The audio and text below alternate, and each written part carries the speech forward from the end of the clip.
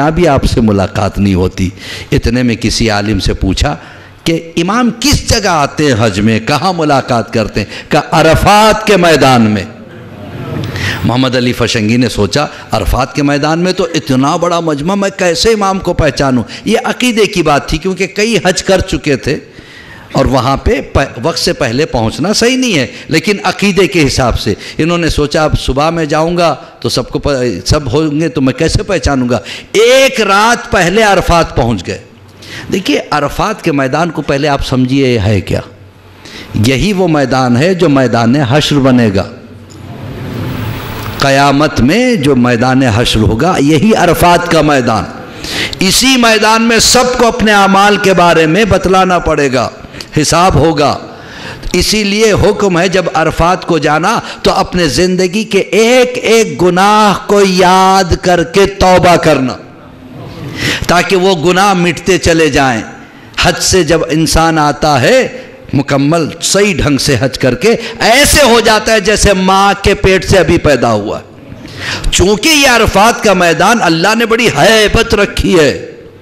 इस मैदान में अगर आम तौर से कोई चला जाए, मेरा अपना ज़ाती तजुर्बा है, आम दिनों में चला गया था, दहशत होने लगी। क्योंकि ये बड़ा हैबत वाला मैदान है, अरफात का मैदान। दहशत होती है। अब तो अरफात में बेहतरीन टेंट लग गए हैं, एयर कंडीशन टेंट है, वरना पहले ऐसा नहीं था। तो अरफात के मैदान में अगर कोई रात में चला जाए, धड़कनें इतनी तेज़ हो जाती है कि आदमी हो सकता है मर जाए अगर कमज़ोर दिल का हो। मोहम्मद अली फशंगी रात में पहुँच गए कि चलो शायद इमाम से मुलाकात हो जाए। मोहम्मद अली फशंगी कहते हैं, जब मैं अरफात में पहुँचा तो मेरे दिल की धड़कन तेज़ हो गई। ऐसे लग रहा था कि मुझ पे मौत तारी हो जाएगी। मैंने घबरा के परवरदिगार से दुआ की, या अल्लाह, लग रहा है कि आज मैं मर जाऊँगा। लेकिन अभी तक मैंने अपने इमाम से मुलाकात नहीं की है। परवरदिगार, एक मरतबा इमाम से मुलाकात करवा दे। हर जगह वही दुआ। फिर सोचा, मैदान में चूँकि डर लग रहा है, टेंट लगा के अंदर बैठ जाऊँ। खैमा नस्ब किया। मोहम्मद अली फशंगी कहते हैं, मैं खैमे में बैठ गया, लेकिन फिर भी मेरा दिल धड़क रहा था। इतने में मैंने किसी के पैरों की आहट सुनी। ऐसे लग रहा था कोई चल के मेरे खैमे के करीब आ रहा है। जैसे जैसे आवाज़ करीब आती रही, मेरी धड़कन और तेज़ होती चली गई। कौन आ रहा है? कौन है ये? कि इतने में आने वाला दर खैमा पे रुक के कहता अय मोहम्मद अली फशंगी, तुझ पे हमारा सलाम। देखिए, अजमत देखिए चाहने वालों की। जब मैंने अपना नाम सुना तो मुझे हिम्मत हो गई। शायद कोई पहचान वाला आ गया। मैं आगे बढ़ा, मैंने पर्दा हटा के देखा। ऐसे लग रहा था कि चाँद जमी पे उतर आया है। इंतहाई हसीन चेहरा, इतनी, इतना हुस्न, इतनी खूबसूरती कि मैं महव हैरत में रहा, मैं देखता रहा देखता रहा। रुखसारे पे काला तिल भी था। मैं ऐसा हुस्न कभी सोचा भी नहीं था। मैं देखने में महू हुआ के सामने उस हसीन चेहरे वाले ने मुस्कुरा के कहा, देखते ही रहोगे या हमें अंदर भी बुलाओगे? मोहम्मद अली फशकी कहते कि मैं फ़ौर अपनी गलती का एहसास हुआ। मैं हट गया, मैंने कहा, आइए, तशरीफ़ लाइए। जब वो अंदर तशरीफ़ लाए और आके मेरे खैमे में बैठ गया अब गुफ्तगु होने लगी। जैसे गुफ्तगु होने लगी, इल्म का अंदाज़ा लगने लगा। मैंने सोचा, ये कोई आम इंसान नहीं है। कोई आलिम दिन है, मैं जो सवाल करता, कुरान से जवाब, हदीस से जवाब, फिर मुझे एहसास हुआ, ये कोई आम आलिम भी नहीं है। शायद ये कोई आलम दौरा है मुश्तद हैं। अब गुफ्तु होती रही, यहाँ तक कि उन्होंने मुझसे कहा ए मोहम्मद अली फशंगी, इस वक्त बेहतरीन वक्त है नमाज़ शब का। लिहाजा अगर तुम्हारी इजाज़त हो तो तुम्हारे खैमे में मैं नमाज़ शब अदा करूँ। मैंने कहा, सरकार, बिस्मिल्लाह, आप भी पढ़िए, मैं भी पढ़ता हूँ। मोहम्मद अली फशंगी कहते हैं कि नमाज़ में ऐसा मज़ा सारी ज़िंदगी में नहीं आया। जो अदायगी थी, जो अरबी का तलफ़ था, जिस अंदाज में तलावत थी, और मैं झूमता रहा, उनके साथ साथ पढ़ता रहा अब उसके बाद जैसे नमाज़ शब ख़त्म हुई, उन्होंने अपने हाथों को उठा के रो रो के दुआ करनी शुरू की। परवरदिगार, फुला मेरा चाहने वाला ऐसे गुनाह कर रहा है। मालिक उसे तौफीक, तौबा दे दे। मालिक उसे माफ़ कर दे। वो राह रास पे आ जाए। कि मोहम्मद अली फशंगी कहते हैं, मुझे ये दुआ इतनी अच्छी लगी कि मैंने उसे हिफ्ज़ करना चाहा। कि फ़ौर उन्होंने पलट के कहा अय मोहम्मद अली फशंगी, ये दुआ ख़ास है, आम नहीं है। ये हमारे लिए है, तुम्हारे लिए नहीं है। अब मोहम्मद अली फशंगी कहते मैं हैरान था, मेरे दिल की बात इन्हें कैसे पता चल गई? कहीं ये इमाम ज़माना तो नहीं? अब कैसे पूछे?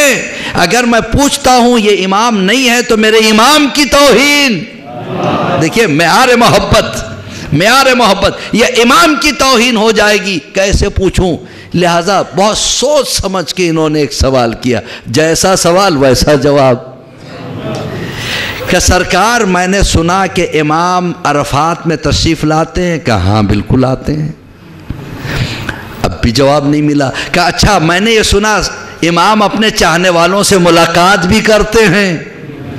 क्या हाँ बिल्कुल मुलाकात करते हैं। अब भी समझ में नहीं आया। अचानक एक सवाल कर दिया, क्या हम अच्छा ये बताइए, इस वक्त इमाम कहाँ है? जवाब मिला, इस वक्त इमाम खैमे में है। मोहम्मद अली फशंगी परेशान हो गए, शायद इमाम अपने खैमे में हो। अब कैसे पूछे? क्या करे? एक मरतबा सवाल कर लिया। देखिए, ये गुफ्तु ऐसी है, ख़ुद ब खुद मैं देख रहा हूँ, आपकी आँखों में आँसू चले आ रहे हैं। ये आपकी मोहब्बत है इमाम से। कि अब उसके बाद मोहम्मद अली फशंगी कहते हैं, मुझे समझ में नहीं आया, हो सकता है इमाम अपने हो और मैं इनको इमाम समझ जाऊँ तो मेरे इमाम की तोहन है। तो अब एक सवाल और किया, क्या मेरे खेमे में भी आएँगे? अब ये सवाल फ्यूचर के लिए था, मुस्तकबिल के लिए। इमाम ने कहा हाँ तुम्हारे खैमे में भी कल आएँगे। तो कहा, किस वक्त आएँगे? क्या तुम जब अरफात के अमाल ख़त्म कर लोगे और तुम्हारे इसी खैमे में मजलिस हुसैन होगी। और तुम देखोगे कि जाकिर जब मसाइब की मंजिल पे आएगा तो तुम्हारा सबसे ज़्यादा रोने वाला इमाम खैमे के दरवाजे के पास बैठा रो रहा है। मोहम्मद अली फशंगी समझ गए कि अब इमाम कल आएँगे। अब इतने में वो खड़े हुए और उन्होंने कहा, मोहम्मद अली फशंगी, अब मुझे इजाज़त दो। अभी बहुत से लोगों से मिलना है, मुझे जाना है। ये कह के जाने लगे। जाते जाते पलट के एक जुमला कहा, मोहम्मद अली फशंगी, एक एहसान करोगे हम पे? सरकार, बताइए, हुक्म कीजिए, एहसान की क्या बात है? कहा कि जब तुम हज से फारिग हो जाना तो मेरे बाबा के नाम से एक उम्र कर देना।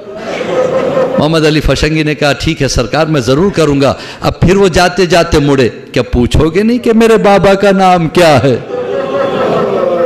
पूछोगे नहीं? और ये पैसे रखो। क्या नहीं, सरकार, मुझे पैसों की ज़रूरत नहीं। क्या हम किसी से मुफ़्त में काम नहीं लेते। मोहम्मद अली फशंगी ने पैसे ले लिए क्या आपके बाबा का नाम क्या है? क्या मेरे बाबा का नाम इमाम हसन अस्करी है।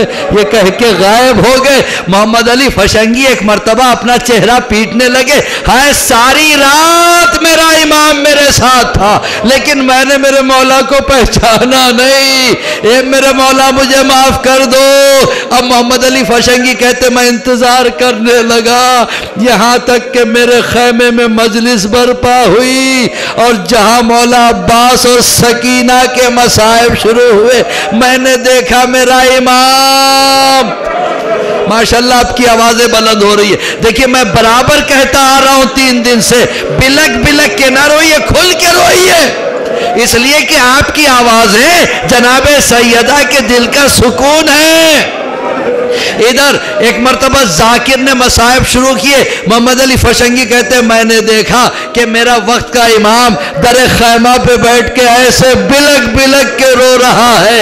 ऐसे रो रहा है जैसे किसी का जवान बेटा मर जाता है। मोहम्मद अली फशंगी कहते मैं आगे बढ़ना चाहा, इमाम ने वहीं से इशारा कर दिया।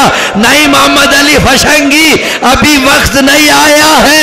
मोहम्मद अली तड़प के रह गए। ए मेरा मौला, मजलिस में आता है, मेरा अकीदा है, पता नहीं कहा मेरा इमाम बैठा रो रहा है। ए मौला, अली अकबर के सीने का पुरसा ले लो। ए मेरे मौला, अब्बास के बाजुओं का पुरसा ले लो। ए मेरे मौला, हमारे चौथे सरकार फरमाते हैं, जब तुम पुरसा देते हो ना तो सकीना का पुरसा देना मत भूलना। इसलिए कि सकीना मुझसे बहुत मोहब्बत करती थी। जनाब सैयद सज्जाद कहते हैं, मेरे हाथों में हथकड़ियाँ थी, पैरों में बेड़ियाँ थी, गले में तोख और जंजीरें सब लोहे की थी। लोहा गर्मियों में गर्म हो जाता है। धूप में तपने लगता है और मेरी हथकड़ियाँ इतनी गर्म हो गई थी, मेरे हाथ पे छाले आ गए थे। एक दिन मैं तकलीफ़ से बेहोश हो गया कि मुझे अचानक ठंडक का एहसास हुआ। जब मैंने आँखें खोली, मैंने देखा मेरी नन्ही सी बहन सकीना अपने हिस्से का पानी मेरे छालों पे डाल रही है। मैं तड़प गया, ए सकीना, अगर तुम छालों पे पानी डालोगी तो खुद प्यासी रह जाओगी। सकीना ने कहा, भैया प्यासी रहना मंजूर। आपके हाथ के छाले नहीं देखे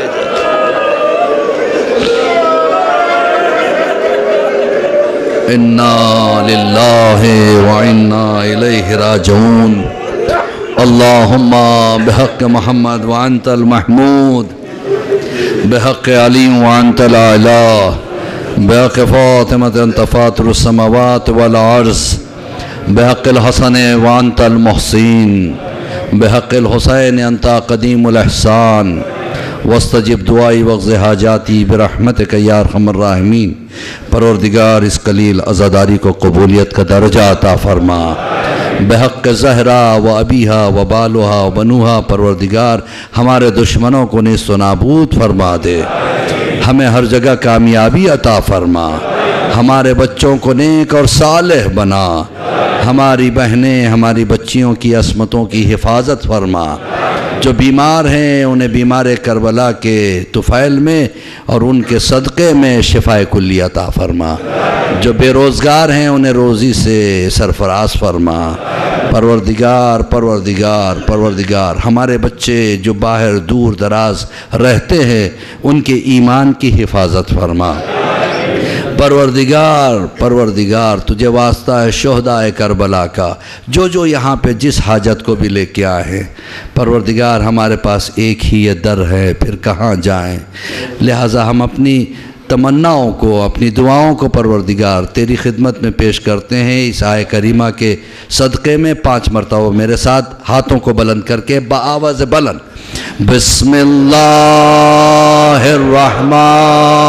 निर्रहीम अम्मा जीवन मोस्तर एजादाह यक्षफुसु अम्मा जीवन मोस्तर एजादाह यक्षफुसु अम्मा आँखों में आंसुओं के साथ।